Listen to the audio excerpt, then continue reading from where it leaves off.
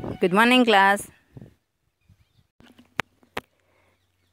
बच्चों, आज हम क से श्र तक बड़ाऊ की मात्रा सीखेंगे। ठीक है? मैंने आपको यहाँ पे दिखाया है। क क को बड़ाऊ की मात्रा कु। ठीक है ना? ये क है और क को ये है बड़ाऊ की मात्रा।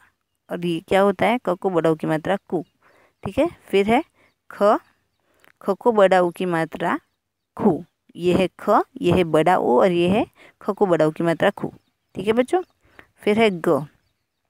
ग ग को ये बड़ा ऊ है और यह है गड़ा बड़ा ऊ की मात्रा ग को बड़ा ऊ की मात्रा गु।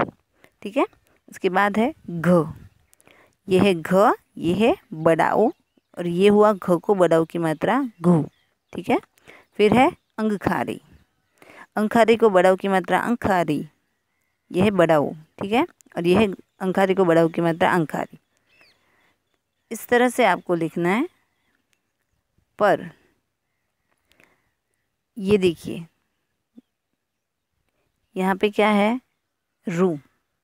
तो बच्चों, जब हम र लिखेंगे, र र को बड़ा ऊ तो र को बड़ा की मात्रा रू तो इस तरह से लिखेंगे। जैसे हम क लिख रहे हैं, मैं आपको दिखाती हूँ कि अगर मैंने यहाँ पे क लिखा, ठीक है? क प्लस मैंने यहाँ पे लिखा बड़ा ऊ इज़ इक्वल टू हो रहा है क को बड़ा की मात्रा कु। फिर से देखेंगे।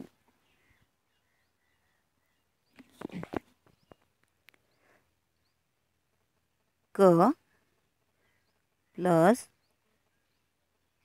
बड़ा ऊ इज़ इक्वल टू क को बड़ा ऊ की मात्रा कु। ठीक है? तो हमने स्टैंडिंग लाइन के नीचे ऊ की मात्रा बनाई, है ना? पर र में हम ऐसे नहीं करेंगे। हम जब र लिखेंगे, मैंने र लिखा, ठीक है? प्लस किया, फिर मैंने बड़ा ऊ बनाया, ठीक है बच्चों? तो र को बड़ा ऊ की मात्रा रू किस तरह से लिखना है? हम र लिखेंगे, हिंदी रेखा बनाएँगे और यहाँ यहाँ पे हम बड़ा ऊ की मात्रा बनाएँगे, ठीक है बच्चों? र को बड़ा ऊ की मात्रा रू तो जैसे मैंने सिखाया आपको उस तरह से आपको कु से शुरू को लिखना है। ठीक है? मतलब क को बड़ा की मात्रा, कु से श्र को बड़ा की मात्रा शुरू तक आपको लिखना है। आज हमने क्या पढ़ा बच्चों हिंदी में? क से श्र तक बड़ा की मात्रा, है ना? आज के लिए इतना ही। तब तक के लिए गुड बाय बच्चों।